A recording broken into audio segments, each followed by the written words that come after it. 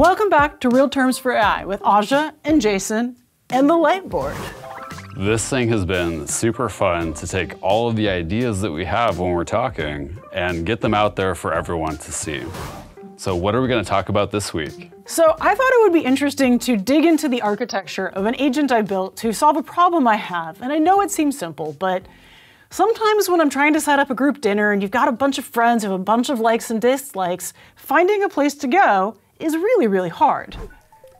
Is it actually that hard though?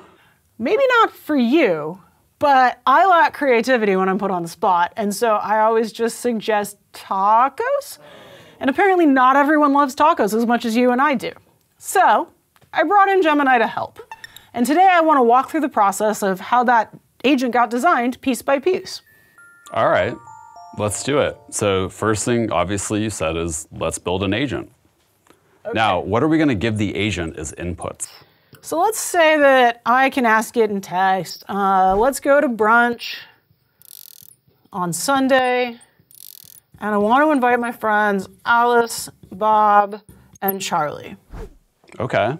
What's nice about this is we have a number of different things we need to break apart. So let's just start with the top. Okay. Brunch. Brunch. I think a large language model probably knows what brunch is, and it probably also knows the approximate time of brunch and when it happens. Yeah, I think we can just assume that the LLM will figure that part out on its own. Perfect. All right, the next question though is what Sunday?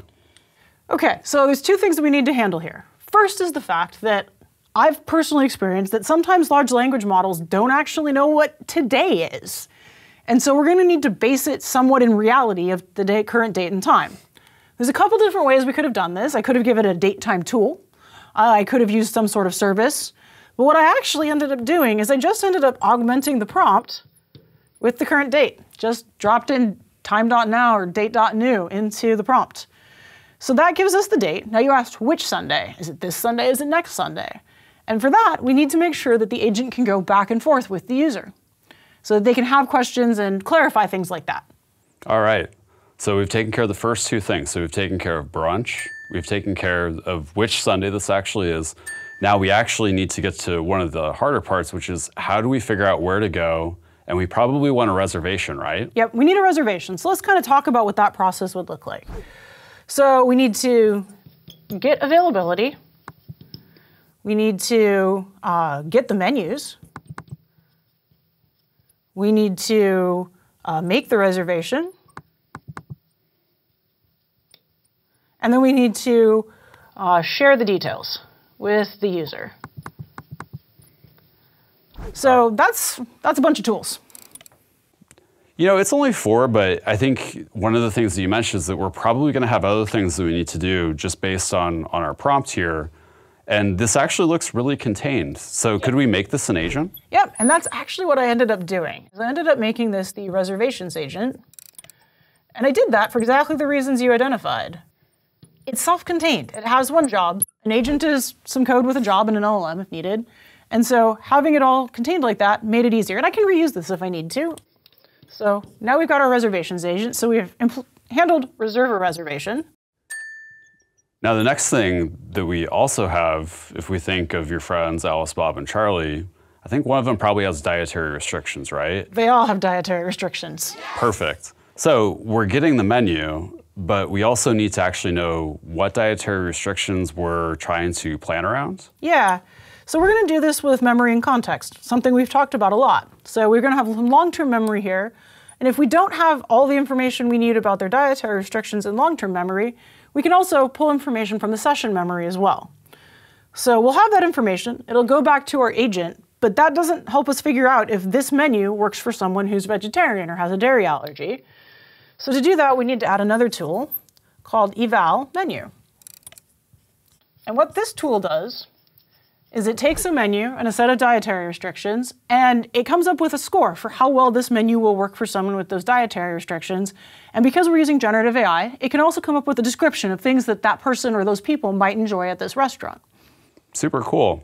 Now, one of the things that you did here, though, that I do think actually is pretty interesting. So we have an agent that's getting the menu, but we made a tool for this other agent, which is evaluating the menu. So why did we split the two apart? Honestly, Because there's no need for this tool that's making reservations to know anything about my friends. It needs to know how many people are going to brunch, but it's my job as the host, my hosting agent here, to make sure that everyone has something they enjoy or something that they can actually eat. And in this case, this agent doesn't need to know that. It just needs to know that this place is going to work, and then it can go through and make a reservation. Yeah, so this lets us do a separation of concerns here. Perfect. All right, so the last but most important piece we have three additional friends, but we haven't actually invited them to brunch. Right. So we need to give this a tool that can do invites. And one of the things we can use our long term memory for is knowing the contact preferences of my friends. Maybe someone wants a text message, someone else wants a calendar invite, someone else actually reads their email and would actually respond to an email. That's not me, but it could be them.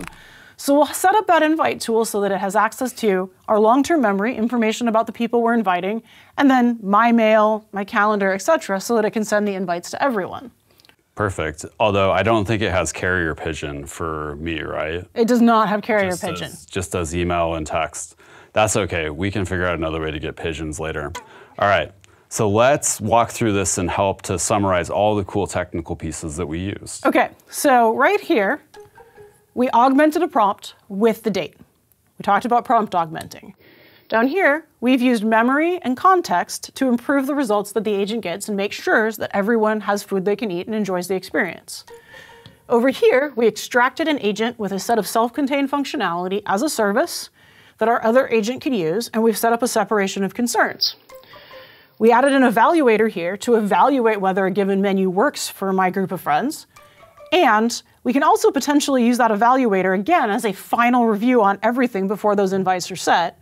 And then finally, we gave our agent a tool to interact with the world and do something on my behalf. That is, send out invites to my friends so we can all go get brunch on Sunday. Kind of pulls together everything we've been talking about all season, doesn't it? It does. And although we always say that it's usually just software engineering, in this case, this is just process engineering. We listed out everything that we would have to do as people, and then we took it and logically broke it apart into agents and tools that we need to automate this process. Yeah, this is how I would think of the process, and we just coded it up. Super cool. All right. We have links below in the description that you can also follow along and deploy a couple of these agents. And with that, this is Aja and Jason signing off and wishing you happy, happy prompting. prompting.